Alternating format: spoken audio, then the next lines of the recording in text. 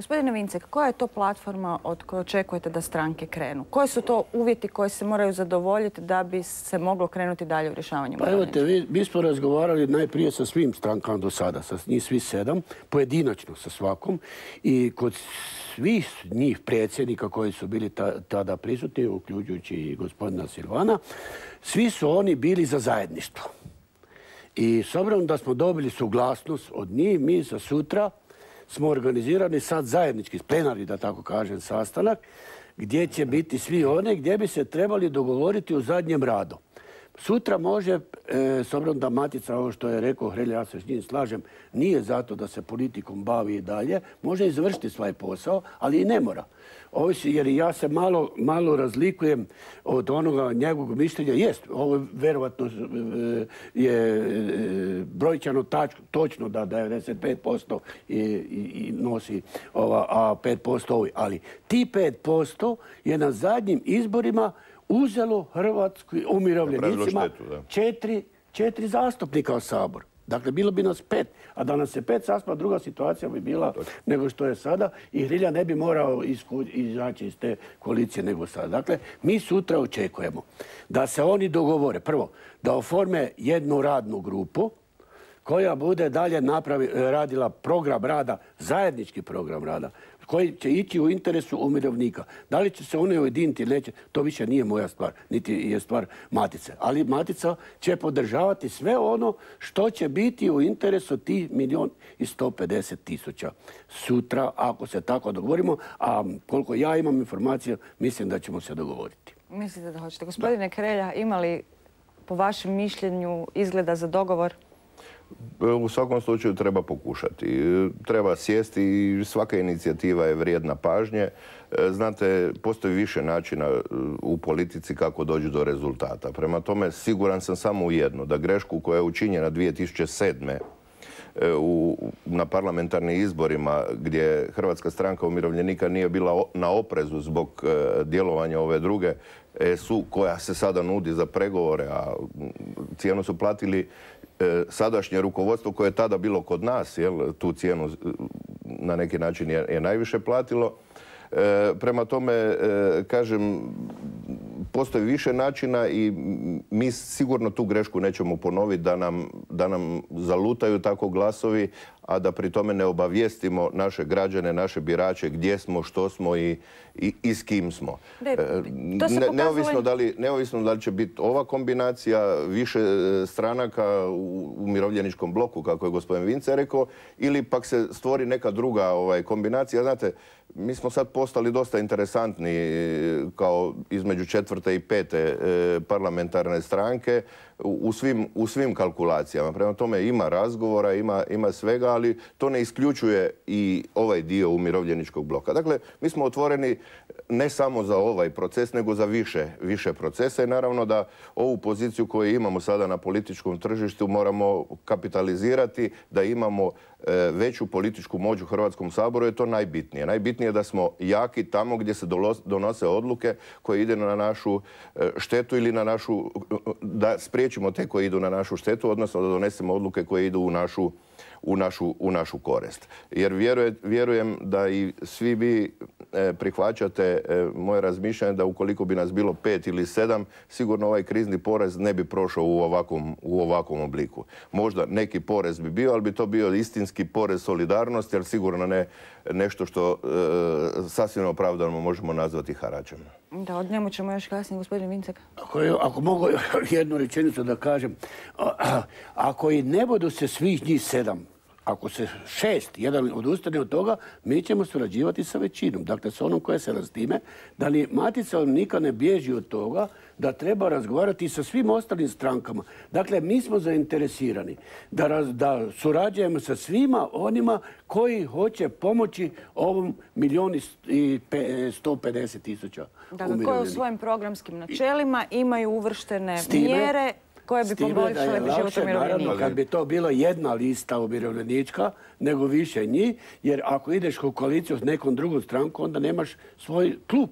A ako ideš sam, onda imaš svoj klub. A post izborne koalicije kakve budu, to je...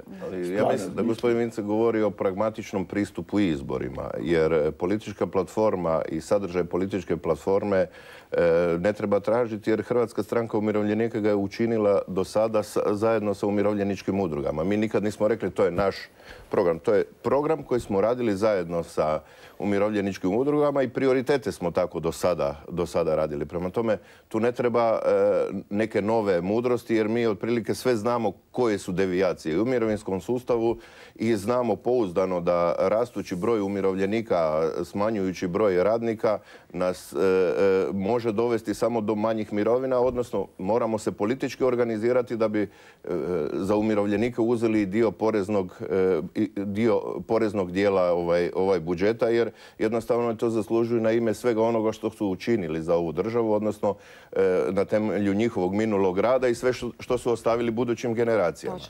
No ono što, što recimo gledajući kada bi se stvorila ta e, politička zajednička platforma, kad bi netko, pa makar i ušao u koaliciju sa nekom strankom prije na nekoj izbor, u nekoj izbornoj jedinici.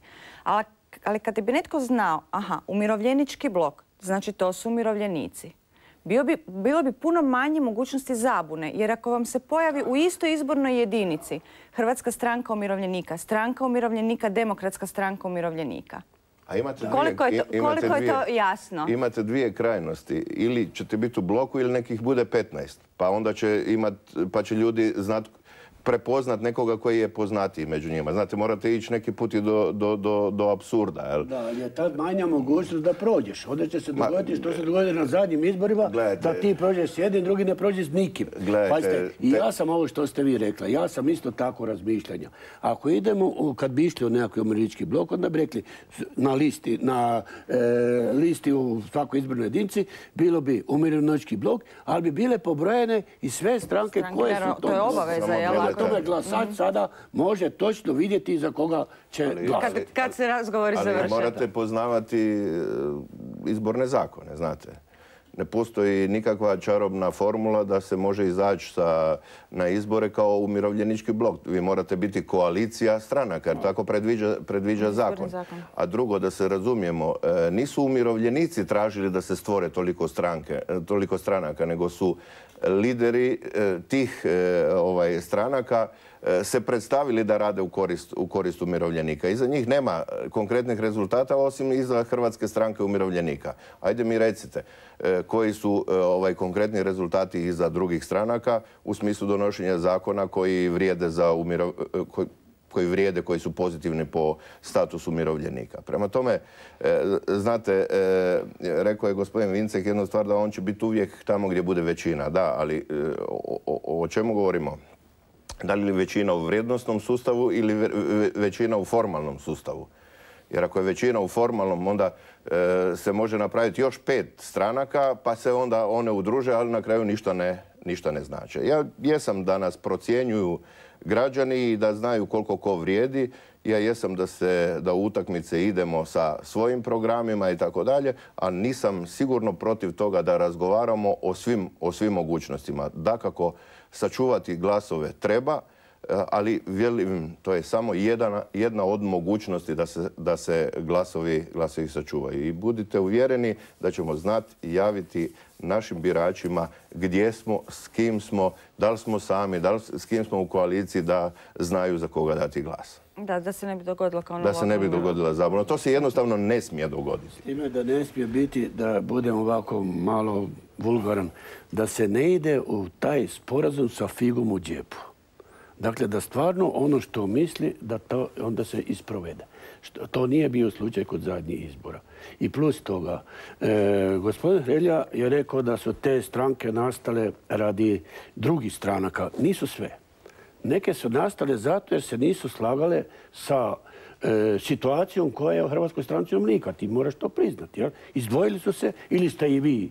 Mi smo ih izbacili. Čujte, imate ljude kod kojih sumnjamo na političku korupciju, pa nećemo ih držati kod sebe. Tako je. Ali i ti isti sada žele zajedništvo.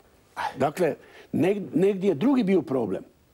Negdje je drugi bio problem. Idemo ga vidjeti gdje je. Gledajte, onaj koji je, koji je pokušao uzeti novac, on ne može sad odjednom dobro misliti i zbog toga izbačen iz Hrvatske stranke umirovljenika. Ja, ja ne vjerujem da se u roku 3 do 6 mjeseci ljudi baš tako mijenjaju i popravljaju, da, sad, da, da su im sad umirovljenici na, na, na, na srcu,